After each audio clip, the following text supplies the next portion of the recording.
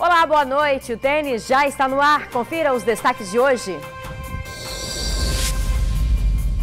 Jovem surta, agride motoboy com capacete e ainda atropela um policial militar.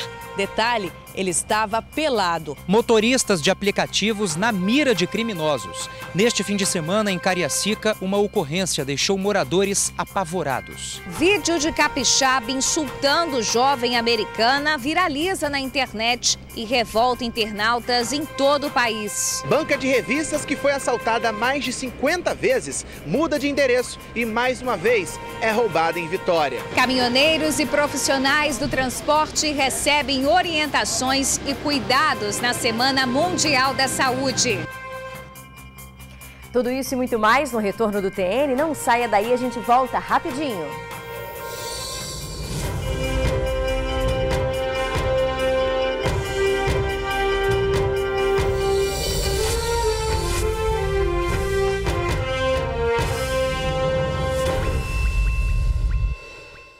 Motoristas de aplicativos são alvo de criminosos no estado. Pelo menos um trabalhador é assaltado por dia, segundo a associação que representa os trabalhadores. Em Cariacica, um bandido morreu e outro foi baleado depois de tentar assaltar os profissionais.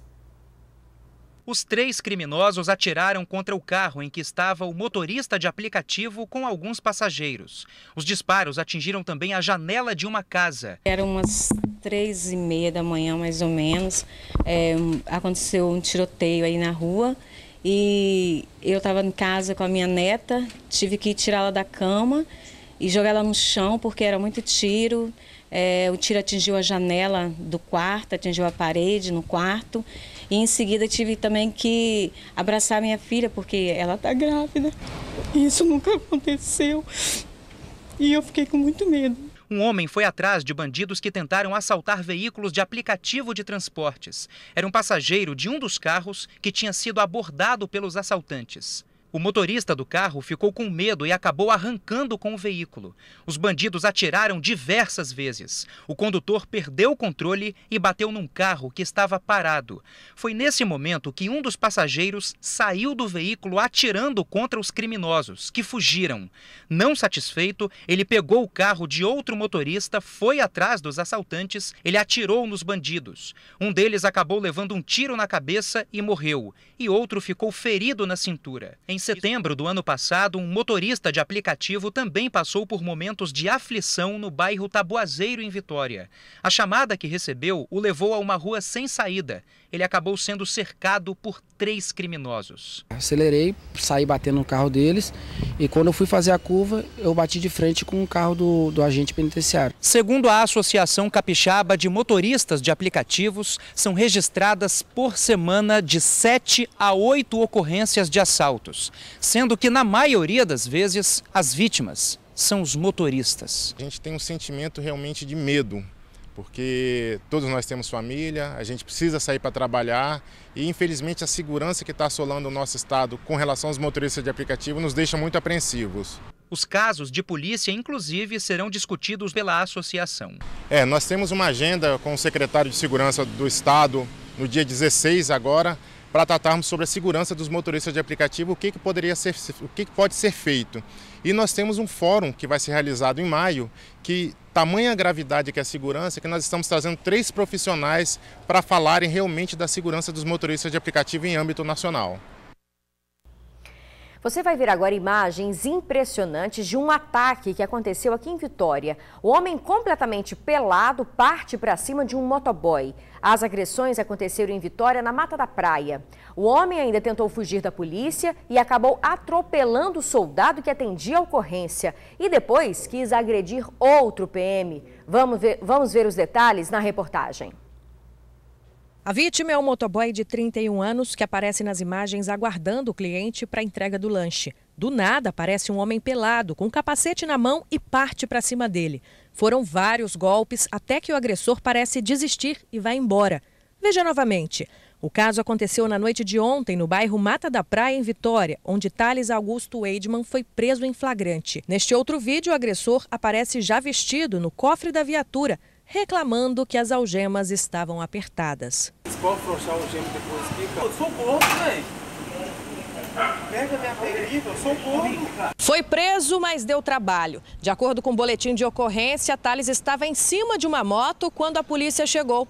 No início, não esboçou reação, mas acabou dando partida no veículo. Na fuga, atropelou um soldado e chegou a agredir outros PMs que tentaram detê-lo. Os militares tiveram que fazer uso de spray de pimenta e bastão. Só assim conseguiram deter o agressor, que, ainda de acordo com a ocorrência, aparentava estar embriagado e ou sob efeito de drogas. Thales se recusou a passar pelo teste do bafômetro. Olha, como estava ferido, o primeiro jovem foi levado para o Hospital São Lucas, em Vitória, onde permanece internado sob escolta. Ele foi autuado por dirigir embriagado, lesão corporal, desobediência e desacato à autoridade e será levado para o presídio assim que tiver alta. O deputado estadual Torino Marques afirmou que foi recuperado o carro que havia sido roubado durante um assalto com reféns no último sábado. O assalto aconteceu em uma propriedade rural em Fundão. O deputado e a família passavam um fim de semana quando o local foi invadido por três bandidos armados e encapuzados. Os criminosos entraram na sala onde as vítimas estavam e anunciaram o um assalto. Celulares, documentos e cartões de crédito foram levados. Os bandidos fugiram com dois veículos. A polícia foi acionada e, quando os militares chegaram, encontraram um parlamentar que teria se identificado como dono da propriedade. Hoje à tarde, Torino Marques emitiu uma nota em que destacou que as vidas foram preservadas e que as investigações estão sendo feitas pela Polícia Civil sob sigilo. Agora é hora de dar uma pausa nas notícias para dar um recado maravilhoso para você. A Páscoa está chegando e você pode ganhar, gente, este ovo de Páscoa aqui maravilhoso. É um ovo de chocolate que pesa um quilo e meio. É a promoção Páscoa com a TV Tribuna e Espírito Cacau. Para participar é muito fácil, anota aí, ó. Você vai assistir o Tribuna Notícias ou o Ronda Geral e ficar de olho no selo que aparece na tela. Lembrando que o selo de hoje não está valendo, é só para você saber como é que ele é. Depois é só acessar tribunaonline.com.br, clicar no banner da promoção e responder as seguintes perguntas. Qual o programa que você assistiu, qual o dia da semana e quantas vezes o selo apareceu. O sorteio, anota aí, é no dia 17 de abril, às duas da tarde. Então fique ligadinho para deixar sua Páscoa ainda mais deliciosa. E uma dica, para aumentar a sua chance de ganhar, é só acompanhar a programação da TV Tribuna. Boa sorte para você e boa Páscoa, né? Com a TV Tribuna e Espírito Cacau. Agora a gente volta para as notícias policiais. Gente, um bandido cara de pau assaltou uma banca de revistas na Praia do Canto. Há 13 anos, a comerciante vem sendo roubada, coitada. Ela já contabilizou mais de 50 assaltos. O bandido escolheu essa banca de jornais para assaltar. O local fica no bairro Praia do Canto, em Vitória. Ele surgiu do nada, armado e de bicicleta. Ele chegou com a bicicleta aí, ela uma amarela, jogou no chão e já entrou rápido, já anunciando o um assalto, armado e tomando o celular, que ele queria, na verdade, dinheiro, né? Mas não tinha muito dinheiro, ele levou o celular e um pouquinho de dinheiro só que estava na gaveta. A ação durou menos de um minuto. O crime aconteceu no último sábado, perto do horário de fechamento. Agora, ele abordou primeiro, foi uma cliente que estava aqui na porta, né? cliente que estava na porta, tomou o celularzinho dela e abordou a menina que estava trabalhando à tarde. A banca existe há mais de 20 anos no bairro. Ela só trocou de endereço. Saiu da Avenida Nossa Senhora da Penha e foi para Desembargador Santos Neves. Mas o que chama ainda mais a atenção é de que quando a banca funcionava neste ponto, o local já sofria com a violência. Uma funcionária nos relatou que durante os 13 anos que trabalhou no espaço, o local foi assaltado mais de 50 vezes. Lá na esquina vinham três, quatro junto, armados também, às vezes com faca, canivete. A insegurança na Praia do Canto é um problema antigo, segundo os comerciantes. Eles pedem mais policiamento na região. Quando tinha patrulha era melhor, era um pouco mais seguro. Agora não está tendo mais, só fica lá perto do centro da praia, não tem muita circulação. Olha, a atitude machista de um estudante capixaba nos Estados Unidos ganhou repercussão aqui no estado. Ele aproveitou que uma jovem norte-americana não entendia o nosso idioma e passou a insultá-la. Tudo foi gravado em vídeo. No vídeo, o capixaba Lorenzo Avinci, de 20 anos, aparece dentro do carro acompanhado de uma americana. O capixaba aproveita que a jovem não entende o português e a ridiculariza com palavras de baixo calão e cunho sexual. Say hi, vagabunda. Say hi. O vídeo viralizou na internet e gerou revolta em muitos internautas. O youtuber Felipe Neto publicou o vídeo em redes sociais pedindo para que as pessoas denunciassem o jovem à Universidade da Carolina do Sul, onde o rapaz, que é goleiro, tem bolsa para jogar futebol desde o ano passado. A postura de Vitor também repercutiu negativamente entre os capixabas. Se fosse comigo, eu provavelmente ficaria muito triste, me sentiria muito envergonhada. Até porque ela não tem noção, ela não tinha noção do que estava acontecendo, né? Que ele estava falando em português, ela é americana. Então, eu acho isso muito triste. E fora que mancha a imagem do brasileiro, né? Porque já tem essa visão que o brasileiro é assim. E eu acho que são atitudes que têm que ser mudadas. Século XXI, isso não, não é atitude de homem. Isso tem que acabar, porque mulher nenhuma merece sofrer pessoa nenhuma merece sofrer. O atleta capixaba agora vai responder criminalmente de acordo com as leis do país onde cometeu o delito.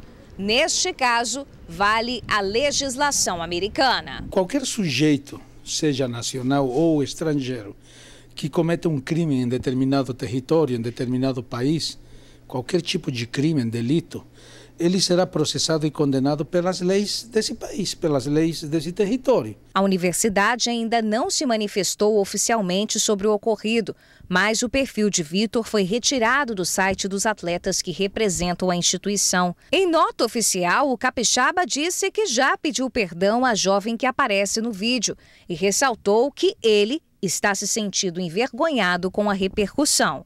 O caso lembra o episódio da Copa do Mundo em que um grupo de torcedores brasileiros também insultou uma russa. O professor de Direito Internacional esclarece ainda o que pode acontecer com o capixaba agora. Uma vez condenado, uma vez que cumpra a pena ou a sanção pecuniária, ele será expulso do território norte-americano e poderá vir aqui no Brasil. Aqui no Brasil, ele não cometeu crime nenhum.